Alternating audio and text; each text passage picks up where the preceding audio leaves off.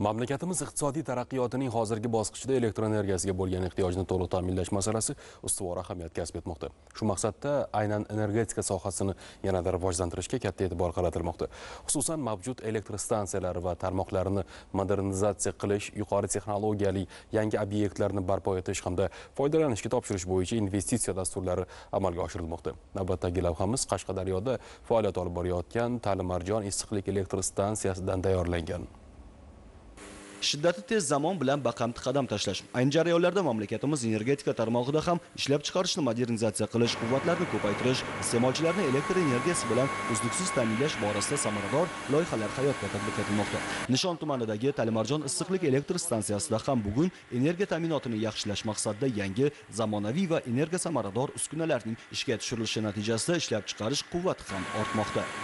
Havo haroratining pasayishi aholini elektr energiyasiga bo'lgan talabini yanada oshiradi. Ayni shu maqsadda mamlakatimizda aholini uzluksiz ravishda elektr energiyasi bilan ta'minlash masalalariga alohida e'tibor qaratilyapti. Ayni paytda biz turgan talimarjon issiqlik elektr stansiyasi ham uning birinchi quvvati 2004 yilda ishga tushirilgan bo'lsa 2016-2017 yillardagi amalga oshirilgan ezgu sa'y harakatlar natijasida hozir siz tasvirda ko'rib turgan ushbu ikkita bug' gaz qurilmasi foydalanishga topshirildi va natijada bir kunda 39,5 million kilovat soat elektr energiyasi ishlab chiqarilmoqda va bu esa o'z navbatida mamlakat iqtisodiyotiga ham o'zining ijobiy samarasini ko'rsatmoqda.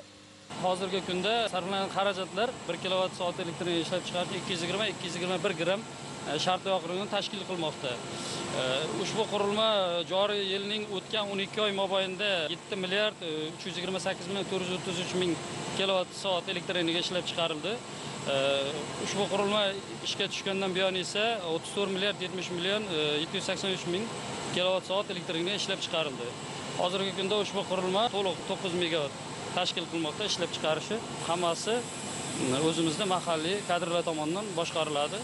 1200 dan ortiq ishchi xizmatchilar mehnat qilayotgan ushbu korxonada tunu kun stansiya barqaror ishlashi aholi va ishlab chiqarish obyektlariga uzluksiz elektr energiyasini yetkazib berish uchun mavjud resurslarni jalb etish orqali yangi loyihalarni amalga oshirish maqsad qilingan. Yurtboshimizning qarorlariga asosan talimarjon issiqlik elektr stansiyasini navbatdagi e, bu gaz qurilmalari qurilishi rejalashtirilgan. Bu bu gaz qurilmalarimiz 4 va 5 energiya bloklarimiz bo'ladi. Bu investitsion loyihalarni amalga oshirishda albatta xalqaro moliya tashkilotlari tomonidan ham moliyalashtirish rejalashtirilgan.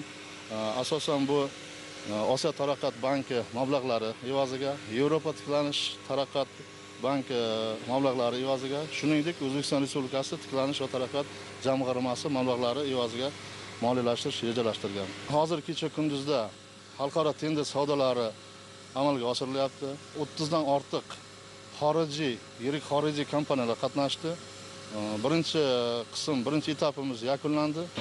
Hozirda e, moliyaviy qismi bo'lmish ikkinchi etapimiz amalga oshirish jarayonida turibmiz.